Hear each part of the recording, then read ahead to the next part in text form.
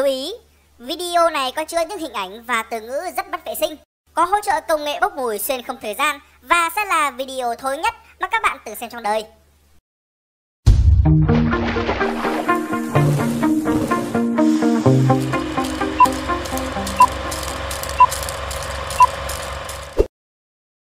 Xin chào, rất vui vì đã được gặp lại các bạn. Có lẽ hơi tục tĩu một tí, nhưng đi đi nặng, đi năm mà tu, đi ẻ, đi đồng hay đi công tác vốn nằm trong tứ khoái của người xưa, bao gồm ăn ngụ đụ y, đồng thời có mối quan hệ thân tình với nước tiểu và chuyện đi tè. Chào mừng đến với những sự thật thú vị về phân và chuyện đi y.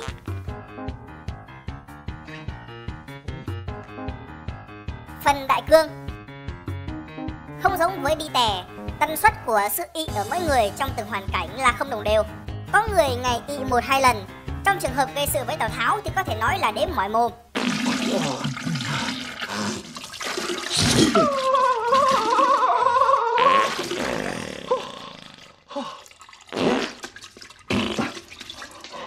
Tuy nhiên, cũng có những lúc bọn phân đình công, hợp thể và hình thành những khối rắn chắc mang tên Megashit, tương tự như Megazord, nằm ly ở đáy lòng của chúng ta và kéo dài khoảng cách giữa hai lần thái cạn của cơ thể lên từ 2 đến 3 ngày. Các nhà khoa học gọi hội chứng này là táo bón. Bên ngoài và đặc tính của phân phụ thuộc vào khá nhiều yếu tố, từ chế độ ăn uống cho đến thể trạng của mỗi người. Ở cấu hình mặc định, phân có trạng thái nửa cứng nửa mềm, có màu nâu đến từ sắc hồng cầu và được bao phủ bởi một lớp nhầy. Ngoài ra, phân người còn có thể có dăm bảy loại màu sắc khác nhau như vàng, xám, xanh, tím, đỏ, đen. Bảng phân loại phân Bristol chia hình dạng và đặc tính của phân người ra làm bảy loại chính. Dù tôi biết ở mỗi người sẽ có những di bản hay phiên bản đặc biệt vô cùng đặc sắc. Loại thứ nhất xuất hiện từng cục rời rạc, cứng và rất khó ra. Loại thứ hai giống như xúc xích khô và lợn cơn. Loại thứ ba giống như một cái xúc xích khô bị hạn. Loại thứ tư giống như một cái xúc xích mềm hay một con rắn. Loại thứ năm với từng cục nhầy và mềm. Hai loại cuối cùng ở hai trạng thái bán lỏng và lỏng hoàn toàn. Trong bảy loại này thì hai loại đầu tiên là hiện thân của trứng táo bón. Loại 3 4 là dấu hiệu của cơ thể khỏe mạnh. Loại 5 là biểu hiện của việc thiếu chất xơ và hai loại cuối cùng là hậu quả của chai tiểu.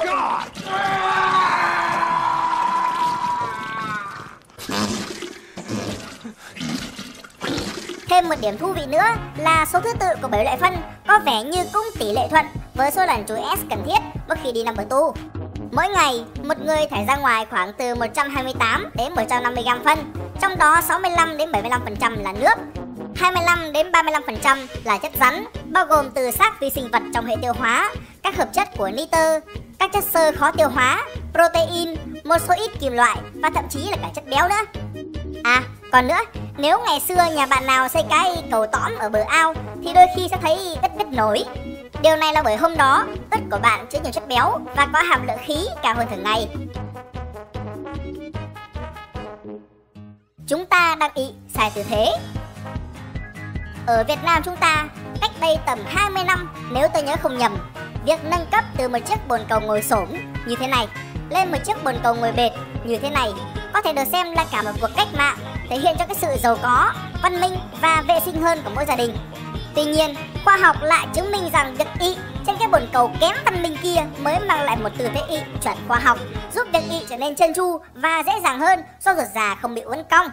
Trên thực tế, có một sản phẩm khiến cho bạn vừa có thể y văn minh, vừa không gây ra những tác động xấu cho ruột già và vùng chậu, mang tên Squatty Potty. Hoặc bạn hoàn toàn có thể chạy ra chợ, mua những cái ghế ngày xưa hay ngồi trò cờ, về xài đỡ cũng được. Vì sao phân tớm? Phân, thở mới hình thành có lẽ cũng không quá thối. Mùi thối của phân đến từ đủ các loại hợp chất của lưu huỳnh, hydro và nitơ, được sinh ra bởi hàng tỷ tỷ con vi khuẩn đang cư ngụ nơi đáy lòng bạn.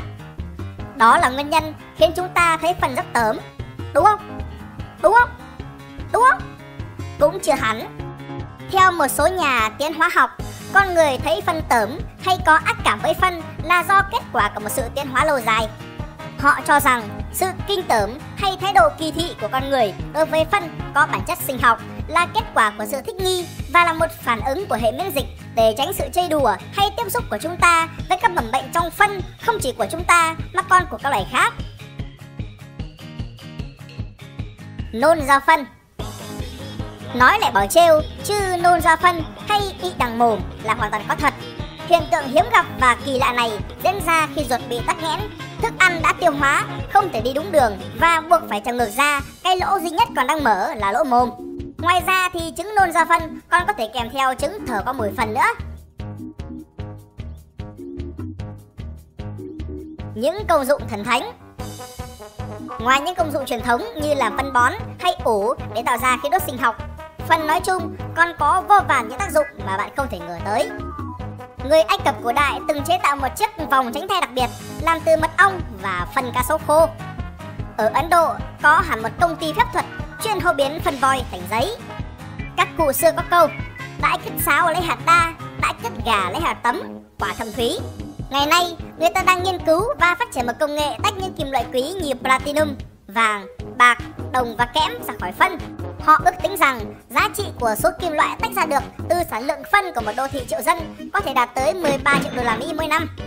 Vào năm 2015, ở Anh, người ta đã khai trương những chiếc xe buýt mang tên Pubus chạy bằng phân người và rác thải sinh hoạt. Và cuối cùng, Hiệp hội Thầy bói Ai Cập cổ đại có thể đoán biết vận mệnh, tương lai đói nghèo sướng khổ của con người bằng cách nhìn vào những cục đất của họ. Phương pháp này được gọi là scatomancy.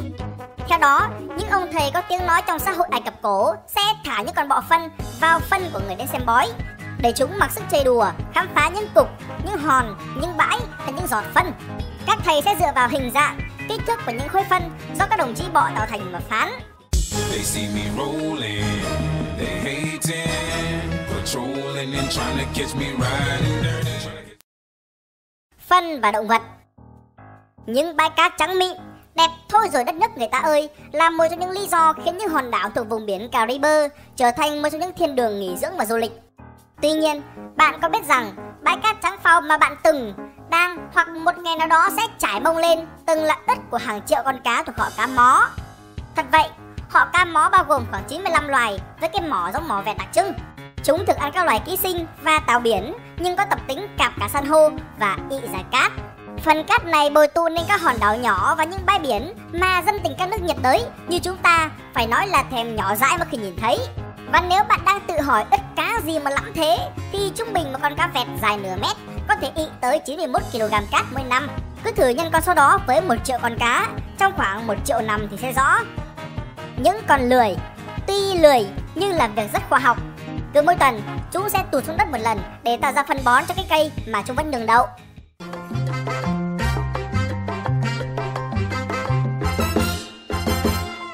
Các nhà khoa học phân tích hormone trong phân của những con cá voi và nhận thấy rằng mức độ xì chết của loài này giảm xuống đáng kể ngay sau khi vụ khủng bố ngày 11 tháng 9 xảy ra. Tất nhiên không phải do chúng hả hê trước nỗi đau của con người, mà là bởi việc giao tiếp giữa chúng không còn bị quấy rối từ những tiếng ồn tần số thấp gây ra bởi hàng nghìn chiếc máy bay trên bầu trời nữa. Vào đầu thế kỷ 20, người ta từng cho rằng chạy ô tô là một giải pháp xanh, thân thiện với môi trường bởi những con ngựa, phương tiện di chuyển chủ đạo từ bây giờ ị quá nhiều và gây ra cái sự ô nhiễm hoàn cảnh. Loài chim cánh cụt Adel ị như súng bắn nước. Người ta cho rằng chúng làm thế là để vi khuẩn không dính được vào da và lông chúng. Dính vào da và lông con khác thì được.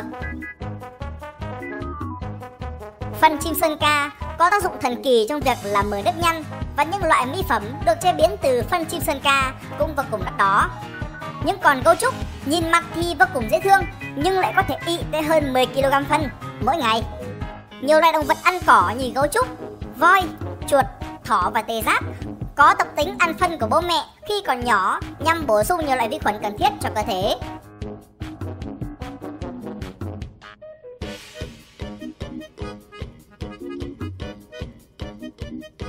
Kề kền, một loài ăn xác thối, có những cái móng vuốt vô cùng bẩn do tiếp xúc với quá nhiều xác chết đang thối giữa. Do đó, chúng ị vào chân mình sau mỗi bữa ăn như một cách hiệu quả để vệ sinh bộ móng. Và cuối cùng, phân của những con gấu túi mũi trần có hình khối vuông. Chúng vừa được dùng để đánh dấu lãnh thổ và vừa được dùng để quyên giúp bạn tình. Tắc ích tắc vàng Ông Piero Manzoni, một nghệ sĩ người Ý đã ị vào 90 cái hộp thiếc, mỗi cái 30 gram xiệc và dán nhãn với nội dung như sau. Ích của nghệ sĩ, khối lượng 30 gram, hàng tươi ngon, sản xuất và đóng hộp tháng 5 năm 1961. Đến nay, 4 trong tổng số 90 hộp xiệt năm xưa đã nở ra vàng với tổng giá trị lên đến 833.000 đô la. Trong đó, hộp đắt nhất có giá tới 355.714 đô, được bán tại một cuộc đấu giá diễn ra vào tháng 6 năm ngoái. Để các bạn dễ hình dung thì 833k đô la mua được tới 18,5 kg vàng ở thời điểm hiện tại. Nếu các bạn muốn con cháu sau này giàu ú giàu ụ thì hãy bắt tay vào tích chữ ít của mình ngày hôm nay. Vẫn liên quan đến ít vàng, nhưng lần này là ít vàng thực sự. Người ta hiện đang bán một set gồm 3 viên thuốc làm từ vàng 24K khiến bạn y ra những cục xiệt sáng lấp lánh với giá chỉ từ 425 đô, tức khoảng 9 triệu rưỡi. Chả đáng bao la khi bạn đang muốn ị ra bạc ra vàng, nhé. Những sự thật thú vị khác sau khi rời mặt trăng, Neil Armstrong không chỉ để lại nhiều dấu chân, một lá cờ sao mà còn cả bốn túi chứa đầy phần người. Sản phẩm phụ sau gần 52 giờ bay, một món quà ra mắt không thể tuyệt vời hơn giữa con người và alien vào một ngày không xa. Nhân đã đến các phi hành gia, phân của team này trên trang vũ trụ quốc tế sau khi được giữ lại nước để tái sử dụng sẽ được tống ra ngoài không gian. Và rất có thể vào một ngày nào đó sẽ trở thành một trong những ngôi sao băng mà các bạn vẫn trồng mồm tà ước mà khi bắt gặp. Trong Thế chiến thứ hai, lính tăng Đức ở châu Phi thường lái xe qua những đống phân lạc đà để lấy may.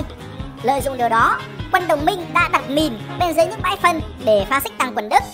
Về sau, quân Đức tiến hóa và trở nên thông minh hơn. Họ chỉ lái tăng qua những bãi phân đã có dấu xích xe tăng. Tuy nhiên, quân đồng minh cũng tiến hóa. Họ tạo ra những bãi phân trông như đã bị xe tăng chạy qua rồi giấu mìn bên dưới chúng. Sở hữu tốc độ phát triển cơ sở hạ tầng vào hàng nhanh nhất thế giới đôi khi cũng có cái khổ của nó. Dẫu đang rất tích cực mở rộng hệ thống cống ngầm, thế nhưng đa phần lượng nước thải và cả phân của người dân tiểu vương quốc Dubai đều được đưa đi xử lý trong một hàng dài vô tận những chiếc xe được mệnh danh là con rết phân hay cuộc diễu hành của cất như thế này đây. Mariko Aoki là tên một hội chứng mà người mắc phải sẽ ngay lập tức cảm thấy buồn y khi bước chân vào một hiệu sách. Cái toilet đắt nhất đang ngự trên trái đất ở thời điểm hiện tại thuộc sở hữu của công ty Hang Phung, được làm hoàn toàn từ vàng 24K và có giá trị lên tới 5 triệu đô. Nó là một phần của căn phòng vàng với cái bồn tắm bằng vàng và nhiều thứ khác cũng bằng vàng với tổng trị giá lên đến 29 triệu đô. Còn quả toilet đắt nhất vũ trụ, hiện đang nằm cách trái đất cơ 400 km theo đường tên lửa bay. Được sản xuất bởi người Nga vào năm 2008 với kinh phí 19 triệu đô. Chiếc siêu toilet này được trang bị công nghệ hút phân mà không làm đau đít.